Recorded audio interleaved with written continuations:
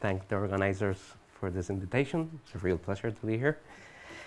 And yes, um, so I'm going to talk about the surface quasi-geostrophic equation, and my collaborators are Angel Castro, who is in Madrid as well, and Javier Gomez Serrano, who is at Princeton. So, what is the surface quasi-geostrophic equation? Well, this is uh, an equation in dimension 2. We're in the plane. There are no boundaries. Theta is the unknown. Theta is a scalar function and is transported by an incompressible fluid. Since the velocity field is incompressible, we can define a stream function such that the velocity is equal to the gradient perpendicular of the stream function, and then the relation between the stream function and the scalar, theta, is given by the square root of the Laplacian. If we write down the velocity in terms of theta, then what we have is that the velocity are the Riesz transforms of theta. So the outline of my talk is, um, since I'm the only one speaking on SQG, uh, I will give a, an introduction, small introduction of what is known, uh, properties. Then I will present um, the theorem I want to introduce. And then I will give a brief uh, sketch of the proof. And during the proof, I will then uh, talk about uh, patches, solutions of patch, patch, patch solutions, because the motivation of the proof comes from the vortex patch problem. Okay, so the quasi-geostrophic is a model uh, that models the dynamics of big masses of air in the mid latitudes where the Coriolis force plays an important role. Um, and this is uh, the quasi-geostrophic equation, it's a three-dimensional equation, and the dynamics that happens at the surface is what is known as the surface quasi-geostrophic equation, which is this one. So this model, um, uh, here's uh, several references. Um, it had been uh, posted and studied in several uh, uh, papers in the geophysical uh, context. But it was not until 1994 that um, Peter Constantin, Andy Majda, and Esteban Tabak realized that this was a very good model. It was a two-dimensional model of the 3D Euler equations. So let me describe why.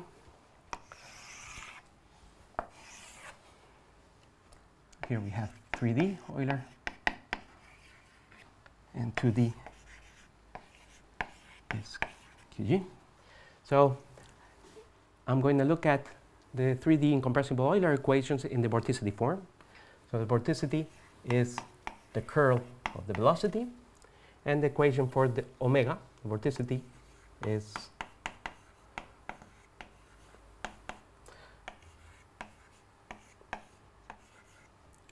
where uh, omega is a vector and is divergent free, and the velocity is divergent free as well. And the gradient of u is, in terms of the vorticity, a single integral operator acting on omega. So we look at we compare this with the surface quasi-geostrophic equation. The what plays the role of the vorticity will be the gradient perpendicular of theta, which is the derivative with respect to x2 of theta partial theta with the derivative with respect to x1. And the equation for this vector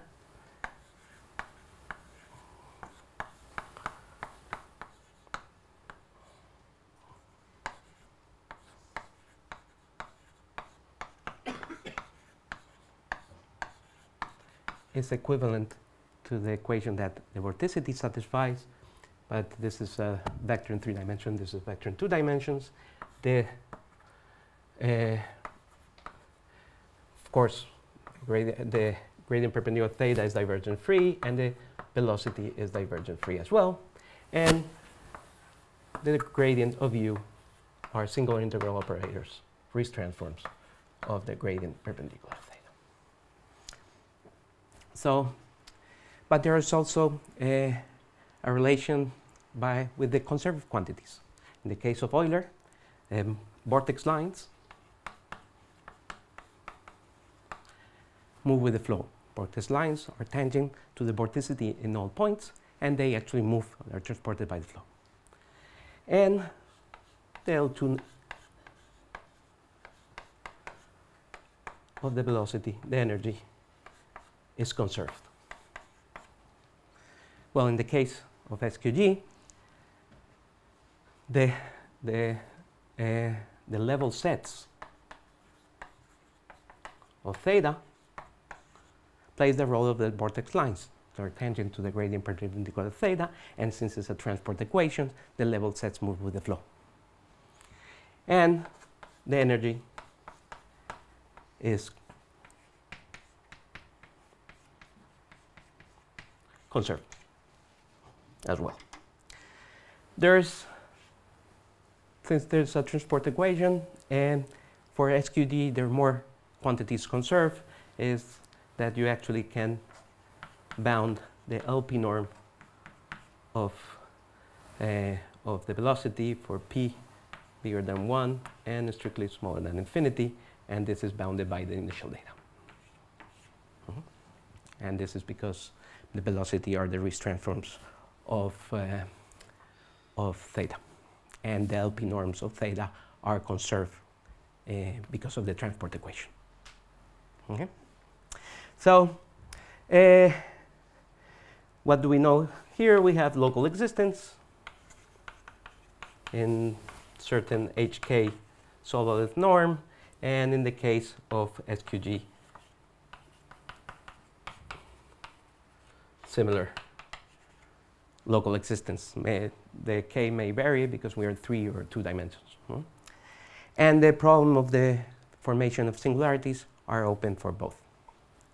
Now, the criterions for the formation of singularities for Euler, well, I can mention two. Uh, the Beale-Kato-Majda criteria, which says that if you control the integral in time of the L infinity norm of the vorticity, then there's no blow up at time capital T. Well, similar thing is true for SQG. If you control the L, uh, the L infinity norm of the gradient of theta, gradient perpendicular if we want to compare one with the other, yes. And there is the Constantin Majda, the Constantin Fefferman Majda result that if you control the direction field of the vorticity, so if it remains Lipschitz, then there's no singularities. So in the case of SQG, identical theorem is true for the direction field of the gradient perpendicular of theta. Okay. So um, so it has to, if, if there's a singularity, the Lipschitz norm has to stop being bounded. Okay, so uh, there goes uh, the similarities with one equation and the other. And now, uh, is there singularities for SQG? And the answer is we have no idea. Okay? Numerics uh, don't show any evidence for smooth, smooth initial data. Okay? There's no evidence at all.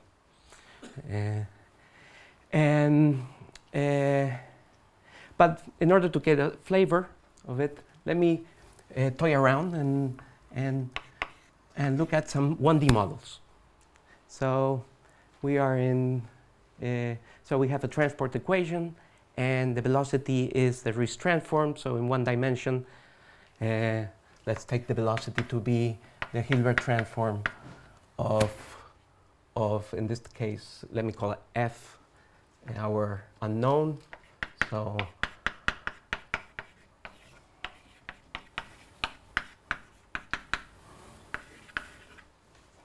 the usual uh, Hilbert transform, and we look at, let's take this model where the F is transported by this flow.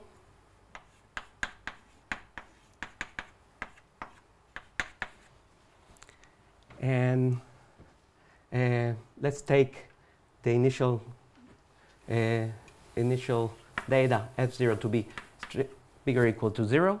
This is, if this is true initially, since it's a transport equation, we'll maintain like this, and the, and the energy actually will decay when f is positive.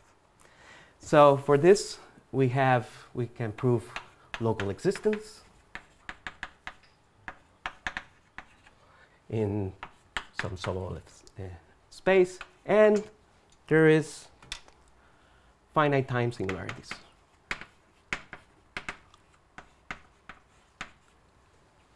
for this model. For all initial data, this is strictly bigger or equal to zero. But of course, in this model, there's the incompressibility doesn't play any role. So let's do the following. Uh, let's change, take the divergence outside the nonlinear term. So the SQG, let's write, so this will be another model. Let's write the SQG as the divergence of u theta. Okay, so we just took the divergence outside and write the 1D model in this case. And what we have is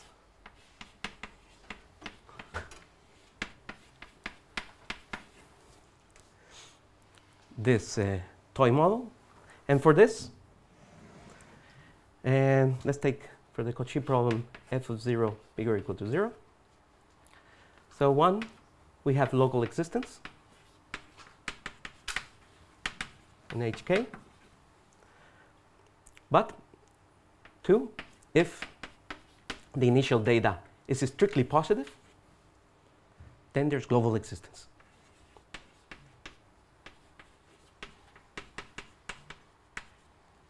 Three, if there exists a x naught such that f of x naught is 0, then uh, finite time singularities.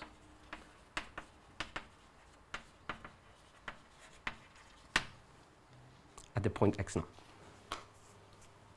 Okay? For this, uh, if, if the data stays positive for the model A?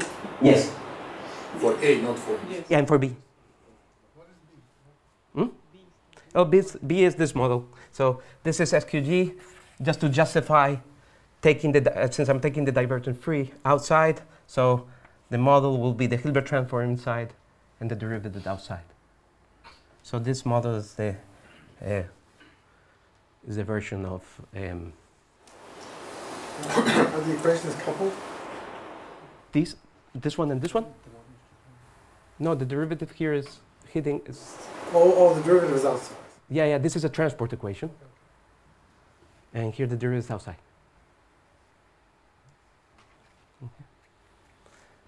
Uh, but just to see that the incompressibility may change. Uh, this n- well, it's, uh, uh, just to get the flavor. Okay, okay good. Can, can I ask one question again about, you mentioned numerics of SQG shows no evidence of singularity. If, this, if, if the initial data is smooth, yes, no evidence of. So that I know of. no. Well, I just, that for, for, for Euler, various people claim, Yeah, yeah, yeah, yeah, yeah. so there's nothing like that Mm. There used to be at the for time SQG. for SQG at the time, but then it, it was ruled out. And numerically as well and analytically. But that's uh, 20 years ago. Okay, so, but right now uh, I don't know of any uh, anybody claiming uh, numerical simulation where there are singularities for smooth initial data. Uh, okay, so in this uh, framework, I have to say that Resnick, in his thesis in Chicago, he proved that uh, as a weak solution, is uh, there's global existence in L2, and the problem of uniqueness is a big open problem for this problem for SQG.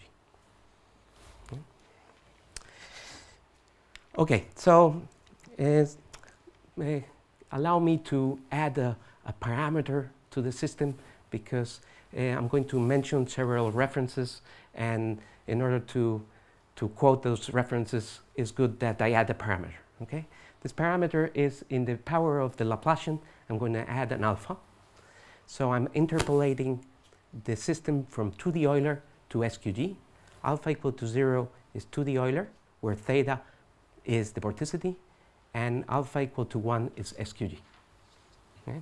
So uh, in, for the global existence, uh, 2D Euler is critical. So when there's global existence for alpha equal to 0, but when alpha is strictly bigger than 0, it's an open problem. And, um, and radial, uh, well, and so for the purpose of my talk, let me point out that uh, radial functions, if theta is radial, then it's a stationary solution, and that has to do with the powers of the Laplacian preserves the symmetry and makes the nonlinear term zero. Okay, so that's for the introduction, and the theorem I want to present is that we prove that there exist non-trivial global solutions smooth for the SQG equation. Okay? How are these solutions? How do they look like? Well, okay, so let me take. Excuse me, this is for the modified one or the. Uh, this is for alpha equal to 1, SQG. So yeah, the modified one, I'm going to uh, call it uh, generalized SQG, okay? And uh, anytime I don't mention SQG, I will say some alpha. Okay? So uh, this is for SQG. And so the solutions are going to be a perturbation of a radial function, theta, where theta is going to be 1 inside this circle. Outside another circle, theta is going to be 0. And in between, it goes from 0 to 1 in a smooth way. Right? Actually, it's going to be a C2. Now, it's going to be a perturbation of this, and the perturbation is has, going to have a three n-fold sim, uh, symmetry. So we rotate by 120 degrees, we get the same uh, structure. And uh, these solutions rotate, and they rotate with uh, constant angular velocity. Now, the thickness in our solutions, this thickness is very relevant for the proof. And the thickness is 0.05. Later I will explain why. So these are the solutions. While we were working on this problem, uh, we learned from Dritschel, and uh, he published a paper where he actually uh, uh computed explicitly solutions of the SQG of C1 half regularity. And these are also, these are the same thing, but they're an ellipse, and they're explicit. So it's an ellipse. Outside the ellipse is zero, and inside uh, theta is smooth. Hmm? And, and the way that he does is, is that he goes to the 3D uh, equation, and he computes explicitly uh, that the ellipsoids are rotating solutions for the 3D. So when you look at the, this, uh, the surface, it, it gives you this uh, ellipse rotating but it's not a patch. Inside is smooth. Now, where does the C1 half come from when you cross the, the boundary?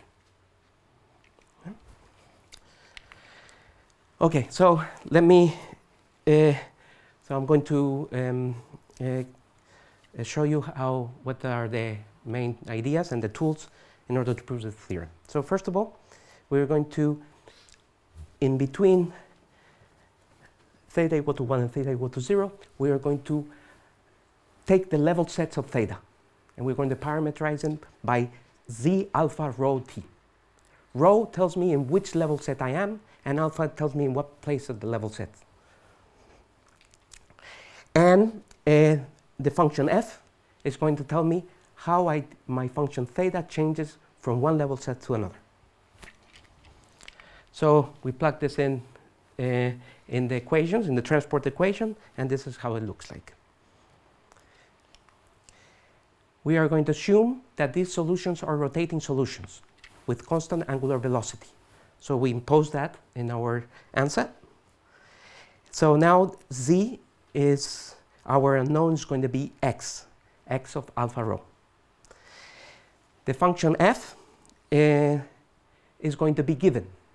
I'm going to explicitly tell you what f looks like, and it's independent of time. The, then the unknowns here are going to be x of alpha rho and the angular velocity lambda. And since my picture is like this, I only have to show that the, solution, the, the equations, that the solution solves this equation in the support of, uh, of f. f the derivative of f. Okay. So how does f look like? It's going to be a function, C4 function, and has this structure where a, remember a is going to be 0.05 and is monotonically decreasing. And actually, the, it will be very important for the proof that in the mi middle, so there will be another beta, that when you add 1 minus a, you add a beta, and you subtract a beta from 1, in those regions, in between, we are going to ask for a linear decay. And when a tends to, to 0, if we take a to 0, we recover the problem for the patch. So the, the solution will be a patch. So we plug this ansatz in the equation. We use the fact that the velocity are the Riesz transforms, and we have the time derivative disappears, and we, this is the equation for lambda and x alpha rho. And we have to solve for this we have some freedom to choose the parameterization of x, alpha rho. It's going to be a perturbation of the uh, circle. So I'm going to define x alpha rho to be a function r that depends alpha rho times the vector cosine alpha sine of alpha. And now our unknown becomes r alpha rho and lambda. So we plug that in, that ansatz in the equation above, and what we get is this functional that in order to be a solution needs to be zero. Okay, so one observation is that if alpha is independent of, uh, sorry, R is independent of alpha, then what we're doing, we have is uh, radial solutions, then F becomes zero. Okay? And what we're looking for is R's that are, depend on alpha. So, uh, so if we take R alpha equal to rho, or any radial solution, that is zero. Okay, so we are in the, the tool we, that we're going to use is the Crandall-Rabinowitz theorem, right? So, um, uh, uh, our parameter mu is going to be the angular velocities lambda, and the function r is r. Okay, so the goal is to find. Um, uh, so if we, we look at the the plane of solutions, where let's say uh, this is lambda, and this is r alpha rho and this line is r equal to rho, right? This line is a solution of the, of the functional. Then we have to find a lambda star, and the spaces x and y, such that this condition satisfies so that the Gateaux derivatives uh, around, we are linearizing around the solution uh, rho, r equal to rho. So around this solution, and we we have to find x and y such that the Gateaux derivative exists and they're continuous. And we have to find a lambda together with these spaces that the dimension of the kernel of the linearized uh, operator is of dimension 1. The codimension of the image is also dimension 1. And then the fourth uh, condition is the transversality. So if those conditions are satisfied, Crandall-Rabinowitz says that you can bifurcate. There's a solution parting, starting from lambda star, where it's the solution of the system F. Okay? So that's the goal. So in order to uh, introduce the, the ideas that are behind this, this was uh, used for, uh, for the vortex patch problem. So I'm going to go and review or revise the vortex patch problem. Uh, vortex patch problem is now uh, we are dealing with a solution that the vorticity is, let's say, 1 here and zeros outside. It satisfies Euler equations. The curve, let's parameterize the curve as uh, t, c alpha t. I'm sorry.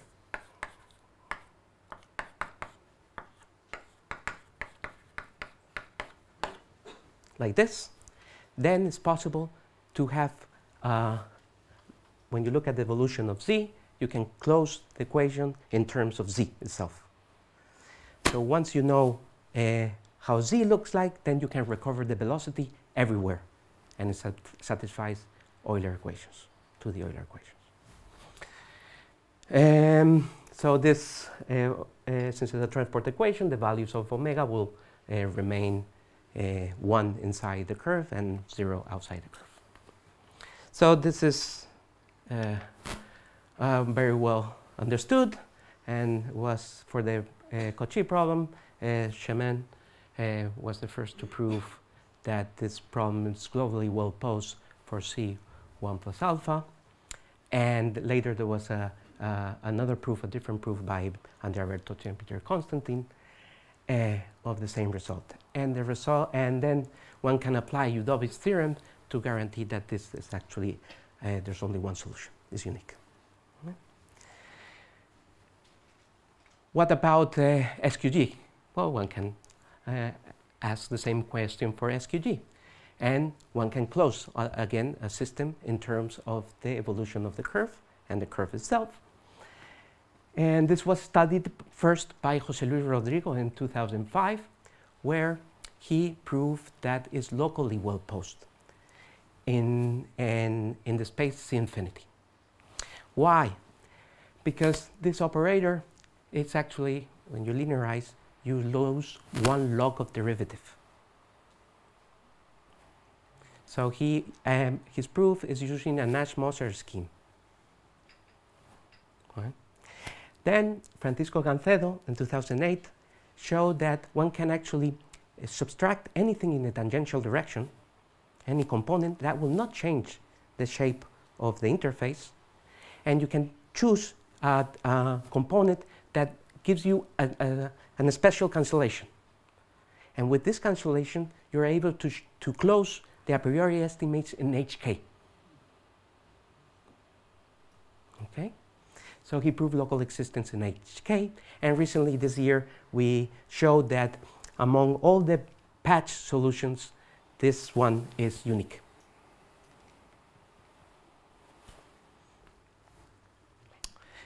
Uh, and the global existence for this problem is open. Of course, all this uh, works for alpha uh, bigger than zero. And the question of exi global existence is open also for alpha bigger than zero.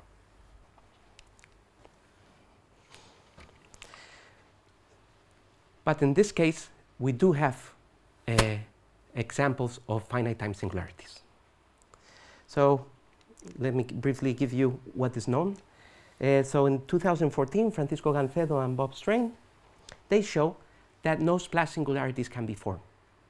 So if you expect that a self-intersection between of the boundary, then the curvature must blow up. Hmm.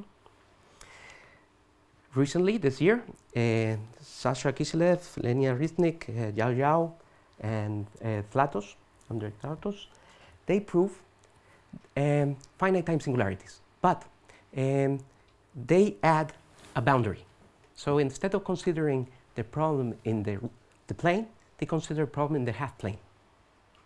And they take two uh, patches that self intersect with the boundary at one point, and there's symmetry. So, under already, since it's touching the boundary, so the chord arc condition, all these um, local existence th- theorems is fundamental that you have a control of the chord arc condition. But they're proving local existence where the chord arc condition fails. And they managed to prove local existence, but for a small range of alphas. And the range, I don't know, it's 1 over 12 or 1 over 24, but it's uh, more or less, uh, that's the, it's a fraction. Okay? And they prove local existence. And moreover, they are able, since uh, there's a lot of symmetry, um, that the patches attract each other. And they made the assumption, okay, let's suppose there's global existence. And they show a contradiction. If they're global exis- existence, then both patches will self-intersect in finite time. If they self-intersect, Gancedo's and Strain's theorem says the curvature has to blow up as well.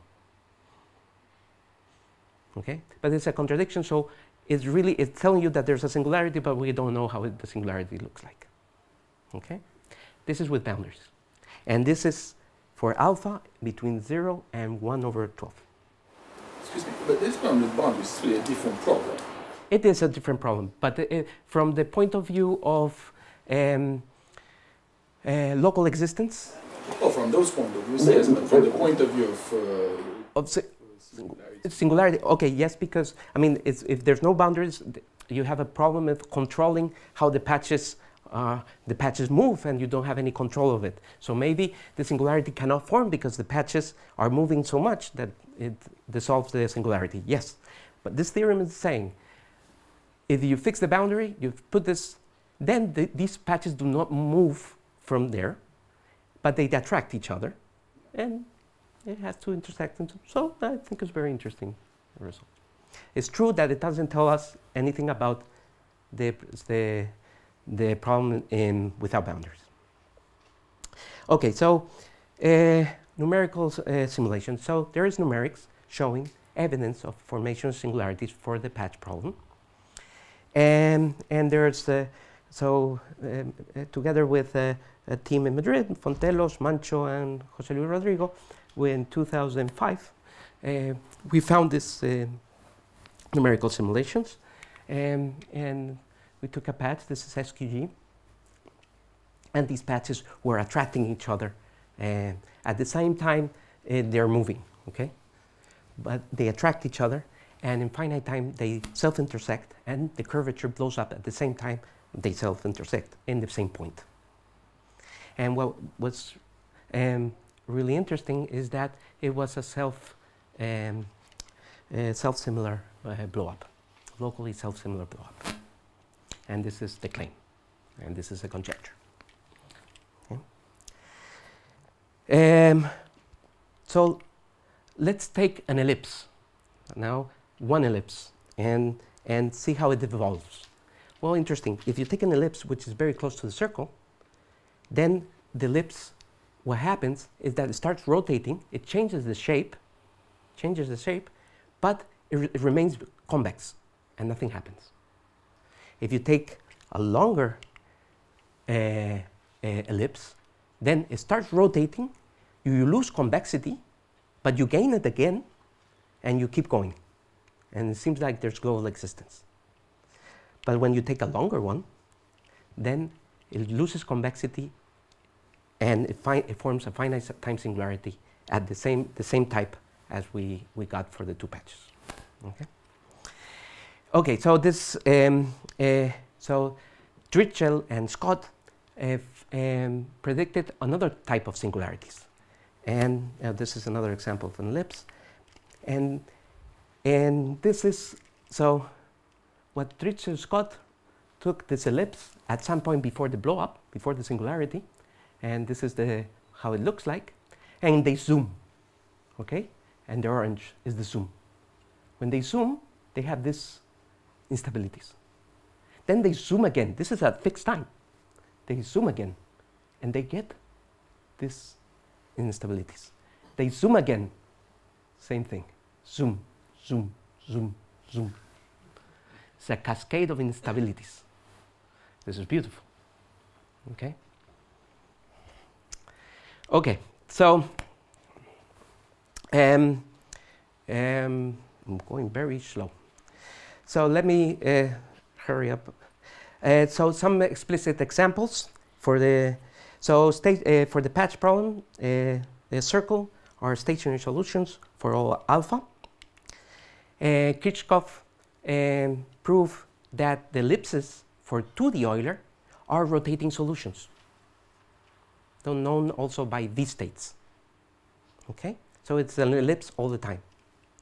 And we showed that for alphas bigger than zero, this is not true. Ellipses are not rotating solutions. And we were concerned about the change of convexity, and we proved rigorously that the, uh, a patch can actually change convexity back and forth. Okay. Um, then in 1978, Deem and uh, predicted for 2D Euler the existence of rotating solutions with m-fold symmetry. Three, here are three, four, but any uh, m-fold symmetry. And this was a prediction from the numerics. And it was in 1982 that Burbea proved the existence of such solutions. Hmm? And in 2013, Taoufik, Hmidi, Joan Mateu, and Joan Verdera uh, gave uh, uh, another proof using the Crandall-Rabinowitz theorem. And they prove the existence, but they- also prove that these solutions, they're actually C infinity. Together with Angel and Javi, we actually prove that they are real analytic. Hmm? In 2000, Fraenkel showed that if you take the angular velocity to be zero, the only solution is the circle. And Taoufik, in the same direction, showed that if the angular velocity is negative, the only solution is the circle. And then uh, you can bifurcate from many other scenarios. For, for example, a patch inside another patch. And that's what they did. Or you can bifurcate from the ellipse.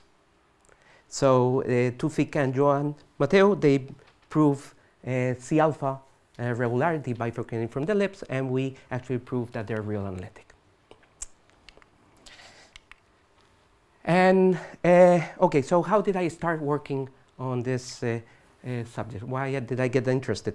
Well, um, when uh, uh, Taoufik, Hmidi, Joan, and the Joannes um, uh, pr- proved this theorem, um, the first theorem, so I invited Joan to give a talk in Madrid, and I got uh, interested in this uh, subject. And then I talked with Taoufik, and I told him, why don't you uh, try to prove this for SQG? I mean, for Euler, we know there is global existence, but for SQG, we have no uh, any uh, solution that uh, exists globally okay, that are non-trivial.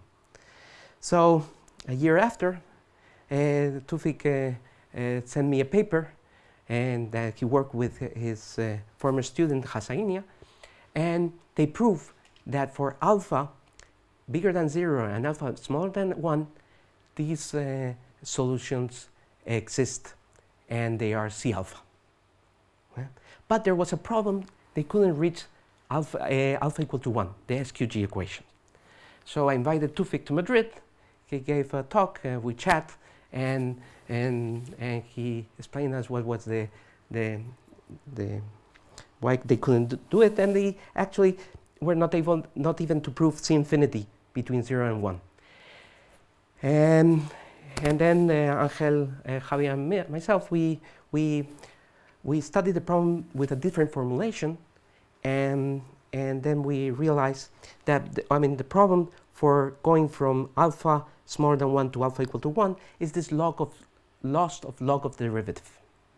They were working on Hölder spaces. To implement this in Hölder, Hölder spaces is quite hard, but to implement it in Sobolev spaces is trivial. So we changed our uh, um, um, framework, and instead of working on the complex plane, we, we work on, on the real world and, and in Sobolev spaces. So at first we prove uh, the existence of M-fold symmetry for SQG in the HK plus H3 plus log topology, and then we prove that the solutions are real analytic. Now, one uh, is true that uh, Crandall-Rabinowitz tells you that it's unique, the branch. So where it overlaps, it's the solutions is real analytic. But Crandall-Rabinowitz doesn't tell you how far you can go in the branch. So maybe you have real analytic in first in the beginning of the branch, and then you lose the analyticity and it becomes infinity. I don't know. Yeah. So um, uh, it's uh, 10 to 3? It's yeah, okay. A little bit more because you started a couple of minutes later. Thank you, Camilo. Thank you, thank you. okay, so uh, so let's let's look at this and the, for the for the patch. So now uh, we're going to bifurcate from the circle, right? And uh, we assume it's a rotating solution, angular velocity lambda. Uh, so now our ansatz is r alpha cosine of alpha sine of alpha. We plug that in uh, the uh, SQG equation, and we get this function has to be equal to zero. When r alpha is a constant, this is automatically zero, so we can apply the Crandall. We can go and try to apply the Crandall-Rabinowitz. So the spaces, and this is what I meant by adding the log of loss of the log of derivative in the uh, Sobolev spaces. Well, it's just uh, to assume that that integral is bounded in L2, and that's enough. And our spaces x is going to be, as it, it is for the v states for Euler, is going to be the sum of cosines. Right?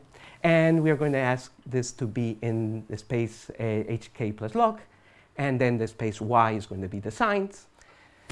Uh, we have the imaginary for the Crandall-Rabinowitz. And now let me just point out one part of the Crandall-Rabinowitz is to see that the dimension of the kernel, the linearized part, is actually dimension 1.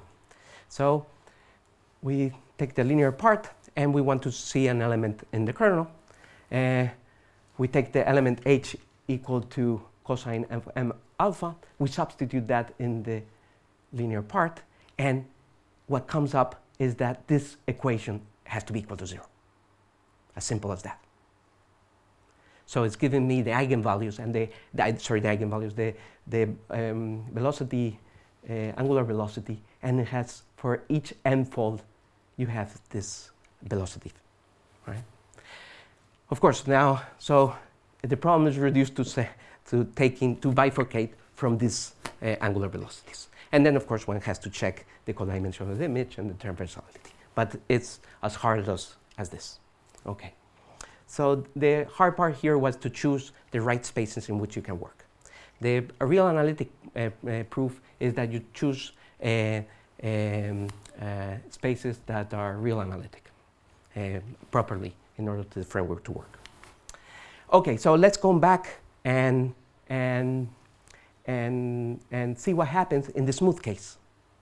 Now in the smooth case, uh, remember we are bifurcating from rho cosine uh, alpha sine of alpha. So now this is a smooth uh, profile. And f is going to be given. Uh, there's no loss of log derivative because f is smooth. Our solutions are smooth.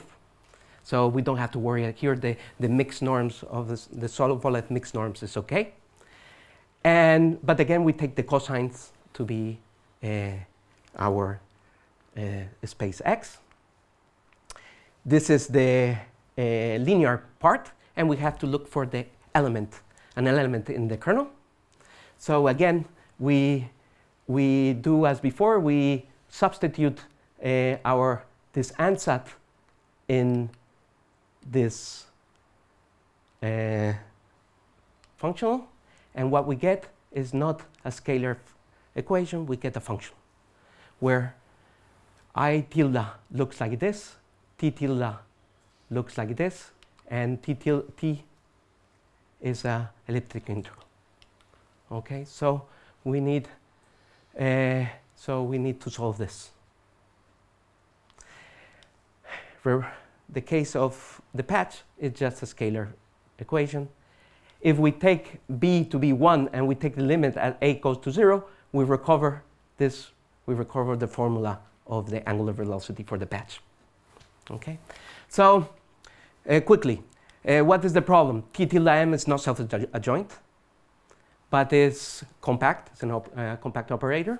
We have a smoothness in I tilde. This is because of f.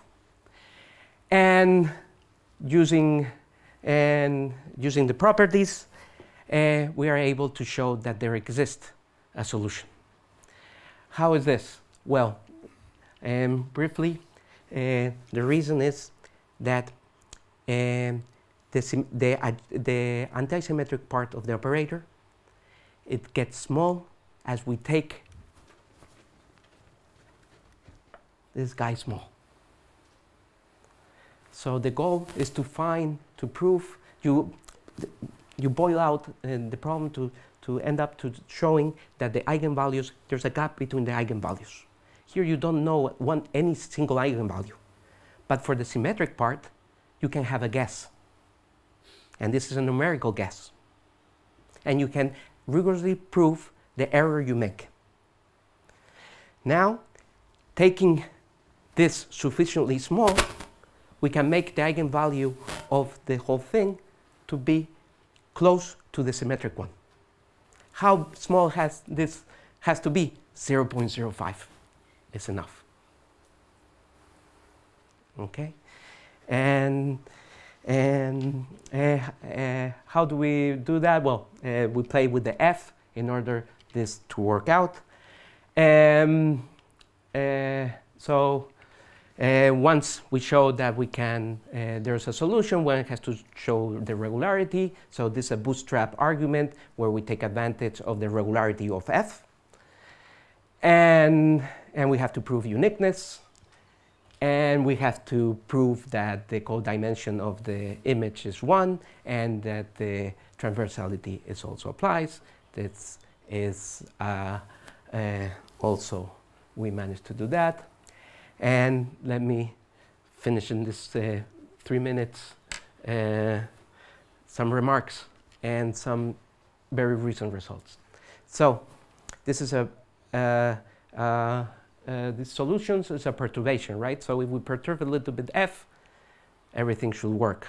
So and that f is uh, uh, has that profile is not a, a, um, a, requirement. Okay, a perturbation of that works. And can we get? We prove that the solutions are C2, and that's just because we chose f to be C4. If we make our f smoother, but that will, will make everything, maybe we have to take as uh, thinner, um, uh, this distance to be smaller, then uh, we can make a, the solution to be of higher regularity. Uh, we, since this, in order to show that this is small, we use a computer assisted proof. We have to do this for each m. So it's not a theorem for all m, we prove it for one single m, m equal to 3. But we believe that uh, if you put any other m, you have to correct the numbers, and, and maybe this 0.05 will be modified, but it will certainly work. And this can be extended for any alpha, in particular for 2D Euler. Okay? And now, very recent results. So what I just talked about is in the archives. And what I'm going, this slide will be in the archives uh, in, in a couple of weeks. And is can we get the computer, get the proof of this, uh, the existence of the solutions without the computer?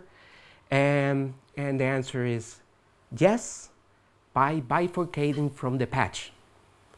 And the way we bifurcate from the patch is that now this A, A is the is this distance, we are going to um, bifurcate from a equal to 0. a equal to 0 is the patch, and at the same time it a moves to the branch, it opens up the smoothness of the function. Um, uh, when uh, then if uh, okay so if we do this um, the idea is that we rescale we scale the profile f, and what is surprising is that this works for any m, and for any profile f. f can change sign. It does not have to be monotonically increasing. It can have any shape. It just have to go from 0 to 1. Okay? But uh, here we, since it's a Crandall-Rabinowitz, we cannot tell you how, how much it opens up. So we cannot reach this solution. Okay? And that's all. Thank you.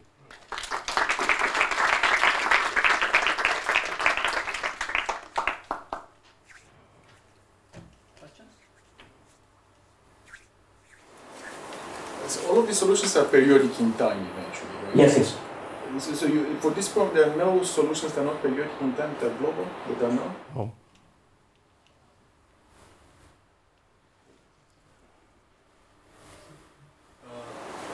Important is it that it's compact support? Could you have a Gaussian which is very narrow?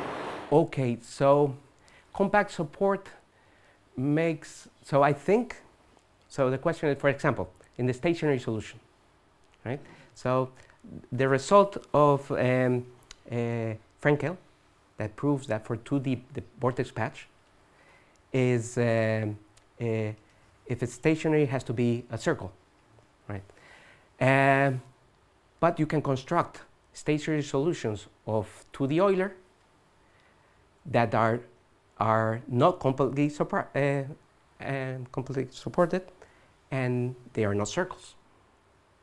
Okay, so the fact that it's completely supported, it, it's already telling you that there is some restriction, very uh, strong restri- restriction. Okay, so to the problem, but can you construct this from a Gaussian or something else? And the answer is yes. Okay, so yes. But it gives restriction, for example, in the stationary. So I think Fraenkel's result is also true for SQG, and it's also true for a perturbation of the a smooth perturbation of the patch.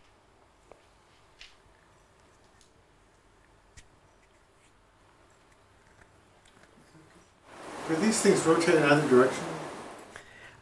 Okay, so so uh, so uh, it's, it's open. So Taoufik's results says, um, um, so these these solutions is the angular velocity is is explicit, and they're all positive. And you know, in order to prove to use the Crandall-Rabinowitz, right? I'm not saying maybe there's another perturbation that has this structure, other symmetry, and and you, the angular velocity is different. I'm not saying that. But in order to prove the Crandall-Rabinowitz, but Taoufik's results for the 2D Euler says that if it's negative, there's the only solution is the uh, circle. I believe that can be extended to SQG. And also to the case of the smooth case as well. But that's something to be done.